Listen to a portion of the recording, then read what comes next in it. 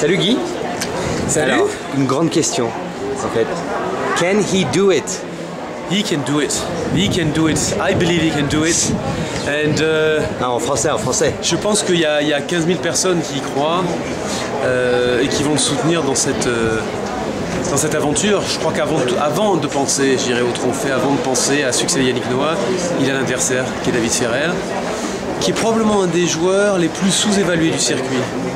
Tout le monde parle de Djokovic, de Nadal, et puis on se dit voilà maintenant il y a Joe derrière. Euh, David Ferrer, c'est probablement le gars depuis 3-4 ans qui est le plus régulier derrière le, top 4. Plus régulier même que Joe. Et euh, il faut prendre ce match à la légère, Joe le sait. Et euh, il, va devoir aborder cette rencontre, je dirais, avec le même sérieux la même rigueur qu'il nous a montré que face à Federer. Maintenant, ce sera un point de vue tactique difficile, ce sera différent. Ferrer donnera beaucoup moins de points, il sera moins percutant que le Suisse, mais euh, je m'attends à un match plus, un peu plus laborieux.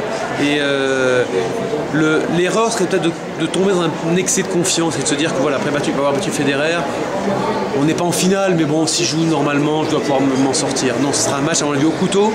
Et euh, je le répète, attention, attention à ce, ce joueur espagnol. En plus, Ferrer, pour le coup, personne n'en parle. Lui, il est Personne tranquille, il fait son petit bonhomme de chemin. Il a le même parallèle que Joe un petit peu. Depuis le début du tournoi, il n'a pas perdu un set. Il était extrêmement impressionnant. C'était un vrai joueur de terre battue. Un des athlètes les plus euh, affûtés du circuit derrière peut-être Nadal et Djokovic. Euh, C'est plus un joueur de terre que Joe? Ouais, c'est plus un joueur de terre que Joe. Mais il n'a pas la puissance de Nadal, il n'a pas la, la- la couverture de terrain peut-être encore d'un Djokovic, cette confiance-là, qu'ont les, ces, ces deux gros cracks. Et puis euh, un petit peu comme Joe, je veux dire, il est en quête d'un titre en Grand Chelem.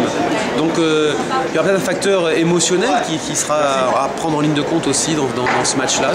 Mais on va se régaler parce qu'on a d'un côté un joueur euh, qui est au sommet de son art, Joe aujourd'hui, qui est très percutant en attaque, qui est spectaculaire à voir jouer, qui joue avec son cœur, avec ses tripes, et, en face de lui, un, garçon qui est un, euh, qui est un, quoi. Il lâche rien, il lâche rien. C'est un superbe athlète, il court, il est monstrueux en défense, belle opposition de style. Je crois que tous les gens qui seront là, qui auront ce fameux billet pour cette partie, vont vont en prendre plein les yeux.